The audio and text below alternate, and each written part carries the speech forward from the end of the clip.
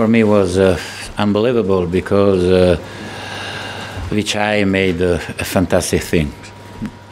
Not only win the Premier League, the Premier League knows all the world, but what he did in the city with the with the people, with the fans, for everybody. He has a big heart, and um, when I think how many times I I take a helicopter, it's unbelievable.